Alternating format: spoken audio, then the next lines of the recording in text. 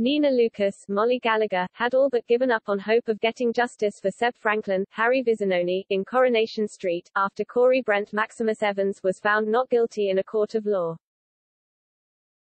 But she is given reason to hope once more in upcoming scenes, when she learns from Asha Alahan, Tanisha Gorey, that a man named Stu is in possession of Corey's rucksack.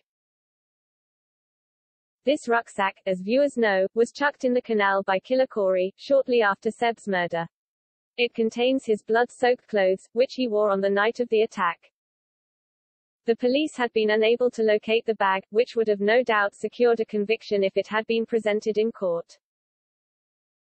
With some assistance from Asha, Nina sets out to look for this Stu, hoping she can convince him to part with the backpack.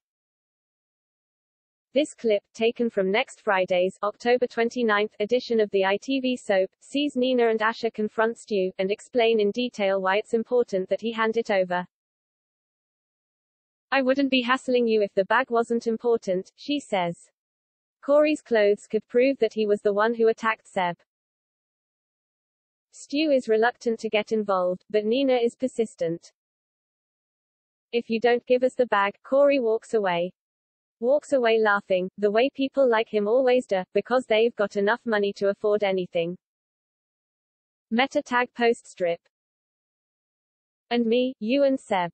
We're just the muck on their shoe. We don't have a place in their world. But you can prove that we do. Nina made a great argument, but Stu once again declined to help.